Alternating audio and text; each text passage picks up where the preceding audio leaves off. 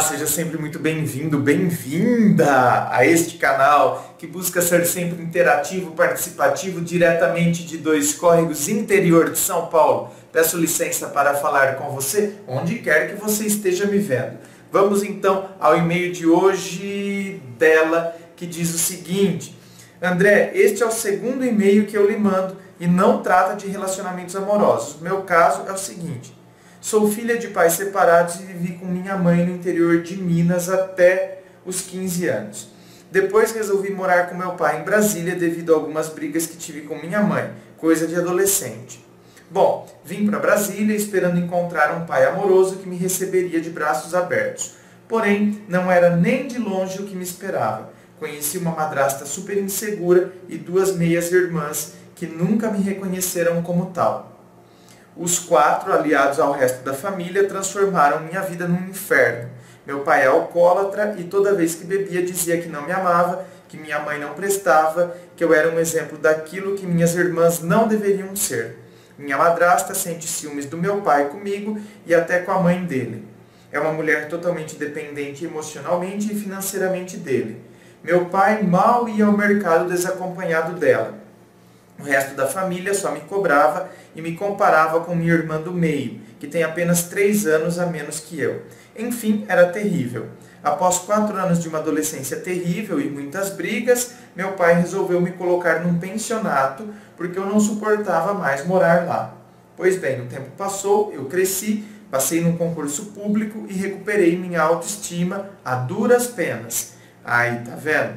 Né? Tá vendo como é um processo? E como a gente, por pior que tenham sido as situações e aquilo que fizeram conosco, o que verdadeiramente importa é o que nós faremos com aquilo que fizeram conosco e como tem, tem possibilidade de haver a recuperação. Tentaram não é, roubar a nossa autoestima e mostrar que não tínhamos valor. Quando a gente se posiciona diante disso, a gente percebe, não, mas meu valor Tá, é uma, não estou dizendo que não é uma situação ruim, hein? Não pensa que eu estou aqui pintando, ai que delícia! Viver numa família assim, ser xingado, ser comparado, ser humilhado. Oh, que maravilhoso! Não, não é. E traz traumas. Mas existe a possibilidade da gente se recuperar. Existe a possibilidade da gente olhar, entende? E a gente reconstruir-se. O ser humano tem a capacidade da reconstrução. Justamente porque a gente tem a capacidade racional. Então a gente consegue racionalizar algumas coisas. E aí a gente vai se posicionando no nosso caminhar. O problema é que hoje não consigo mais conviver com a família do meu pai. Dou ataques de pânico quando vou a festas, não tenho paciência de estar com eles. Não foram só momentos ruins, é fato, mas os momentos ruins dominam a minha memória e eu não consigo superar. Depois que me afastei, me senti muito melhor. Hoje moro só em Brasília e sou muito feliz, ao lado de amigos e em contato com minha mãe, que mesmo longe participa mais da minha vida que meu pai. Sinto-me culpada por não estar no meio deles. Porém, são pessoas muito infelizes e esta infelicidade me afeta, pois apesar de tudo que eu passei, tento ver a vida de uma forma positiva. Não baseio minha alegria em bens materiais Rio de tudo e vejo graça até nas piores situações. Atitude totalmente contrária a essa família. Não cito exemplos para não alongar o assunto. Por favor, me dê seu ponto de vista sobre minha história. Muito obrigada, você está de parabéns pelo trabalho que realiza. Muito obrigado por suas palavras. Minha querida, aqui também não vou me alongar, é, mesmo porque eu já gravei vídeos de reflexões nas reflexões livres em que eu falava da gente se afastar de quem quer nos puxar para baixo. E esse afastar-se, eu deixei bem claro lá, e eu acredito que então a resposta ao seu e-mail é praticamente o que eu já falei lá.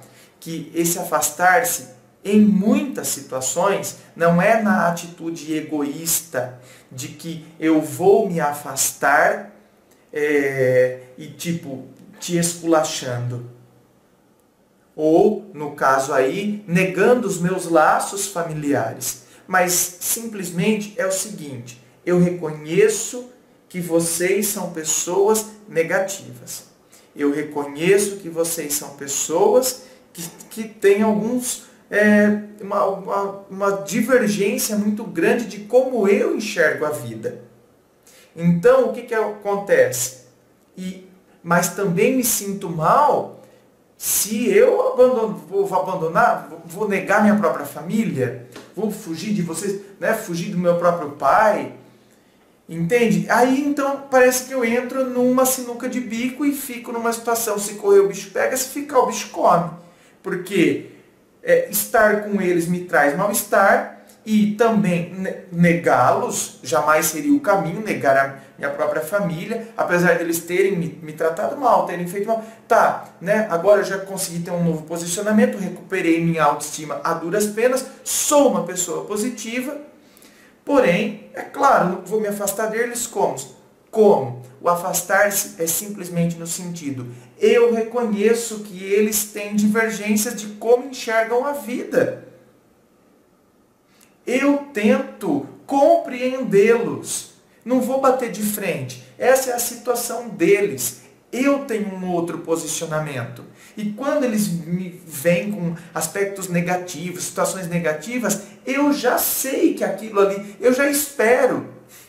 Já é previsível. Então eu coloco um filtro. Eu não deixo aquela situação me afetar. Eu já sei que aquilo ali vai vir mesmo. Que aquilo ali, eles entraram num vício, num círculo vicioso, num ciclo vicioso. Aquilo ali se tornou hábito. Porque não é, as atitudes negativas, pessimistas, e que muita gente vai dizer, não, eu não sou pessimista, eu sou realista.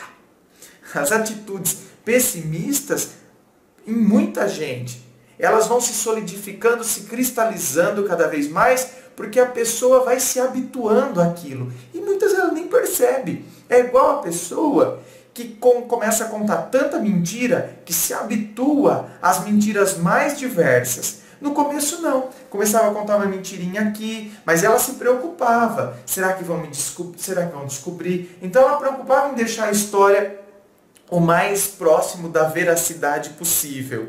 Sabe? De contornar, de, de, de dar toques de veracidade da mentira. Só que aquilo começa depois ser tão comum e aquilo vai se tornando um hábito, que aí a pessoa, meu, conta as piores mentiras e começa até a acreditar naquilo. Porque aquilo ali vai se solidificando, cristalizando dentro dela. Então ela conta, por exemplo, nossa, cara, ontem, meu, você não acredita, véi, você não acredita, véi. Eu tava, eu tava andando na rua, véi, baixou aquele OVNI. Meu, eu só vi a mãozinha do ET ainda. Oh, o ET fez assim, e aí, velho, beleza, bro? Bom, ou você acha que ele está drogado e que se você sabe que não, ele não usa droga nenhuma, você fala, e você sabe que a pessoa, a gente sempre conhece um mentiroso, né? Basta algumas semanas de convivência, a gente já começa a perceber, e a pessoa muitas vezes ela nem aquela situação que ela tinha antes, de antes querer deixar um tanto mais próximo da veracidade a mentira, agora já, meu, porque se tornou hábito e ela até acredita muitas vezes naquele. Lógico, eu estou dando um, um, exemplo extremo do OVNI, de ET, né? Estou dando exemplo extremo, evidentemente. Mas pessoas negativas também são assim aquilo vai se habituando, se habituando, cria-se aquela esfera ali, a família comunga de tudo aquilo ali, é o contexto deles, um quer ser mais, se torna mais negativo que o outro, sempre é uma questão que se torna hábito. Você, por sua vez, conseguiu sair desse esquema. Que bom, você conseguiu sair desse esquema e, inclusive, fazer algo que muita gente nunca consegue, que é a duras penas, porque, como eu disse, não é fácil, você foi, muito, foi perfeito aqui, a duras penas. Porque tem gente que acha que é mágico e tem gente que decreta a impossibilidade de conseguir a autoestima. Por causa da situação que eu passei, de tudo aquilo que eu passei. Pode ser difícil, a duras penas, mas é possível. E agora, portanto, é necessário que, olhando e analisando essa situação, eles são assim, eu filtro. Eu coloco um filtro. E aí você então não deixa de ter contato com a sua família, o que não é saudável mesmo, não é? Família é a nossa base, é a nossa célula, por piores que sejam os hábitos que às vezes eles têm, como por exemplo, a sua família que é negativa, que foi isso, que aquilo, e que trouxe traumas a você por causa do que eles fizeram, das atitudes que eles tiveram em relação a você no passado, mas agora você já sabe filtrar, você consegue olhar com outros olhos, você coloca outras lentes, porque você está num outro patamar, você atingiu um outro nível e você consegue enxergar isso e se posiciona a partir disso. Não é se sentir superior, não, porque não somos superiores a ninguém, não. Não é se sentir superior, é simplesmente interpretar o que está acontecendo, perceber que existem divergências. Eles têm este comportamento, habituaram-se a isso, não é o que eu quero para mim. E não é porque não é o que eu quero para mim que eu irei desrespeitá-los. Agora, eu filtrarei as situações. E aí então eu não fico nessa angústia toda, eu não vou querer estar tá lá e ao mesmo tempo não quero estar, tá, mas ao mesmo tempo me sinto mal por não querer estar. Tá. Acho que é isso. Minha querida, muito obrigado pela sua participação. Inscreva-se, eu fico aqui aguardando a sua inscrição. Participe do Facebook, clique em seguir. Participe do blog Ponto de Vista, lá eu coloco meus textos, minhas ideias, meus pensamentos. Participe de todas as sessões que constituem aqui o canal Ponto de Vista no YouTube. Muito obrigado e um forte abraço.